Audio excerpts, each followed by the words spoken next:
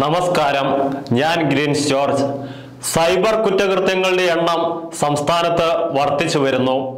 കഴിഞ്ഞ ആറു വർഷത്തെ കണക്കുകൾ പരിശോധിക്കുമ്പോൾ ഏറ്റവും അധികം സൈബർ കുറ്റകൃത്യങ്ങൾ റിപ്പോർട്ട് ചെയ്യപ്പെട്ട വർഷമായി മാറിയത് കഴിഞ്ഞ വർഷമായ രണ്ടായിരത്തി ഇരുപത്തിരണ്ടാണ് രണ്ടായിരത്തി പതിനേഴിൽ മുന്നൂറ്റി ഇരുപത് സൈബർ കേസുകളാണ് സംസ്ഥാനത്ത് രജിസ്റ്റർ ചെയ്യപ്പെട്ടത്. ഇത് നാൾക്കുനാൾ ഉയർന്നു വരുന്ന അവസ്ഥയാണ് പിന്നീടുള്ള വർഷങ്ങളിൽ കണ്ടത്.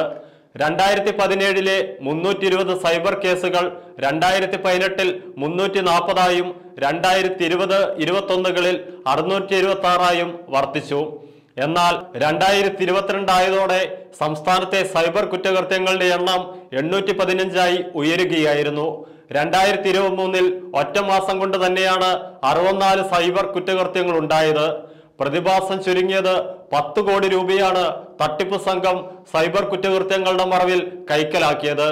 പണമിടപാടുകൾ ഡിജിറ്റലാക്കിയതോടെ ഓൺലൈൻ സാമ്പത്തിക കുറ്റകൃത്യങ്ങളാണ് കൂടുതലായും സംസ്ഥാനത്ത് റിപ്പോർട്ട് ചെയ്യപ്പെടുന്നത്.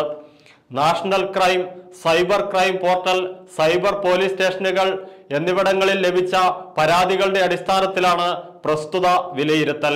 വടക്കേ ഇന്ത്യൻ സംസ്ഥാനങ്ങളിൽ നിന്ന് വ്യാജവിലാസങ്ങളിൽ എടുക്കുന്ന ഫോണും ഇന്റർനെറ്റ് കണക്ഷനുമാണ് സംഘങ്ങൾ തട്ടിപ്പിനായി ഉപയോഗിക്കുന്നത്.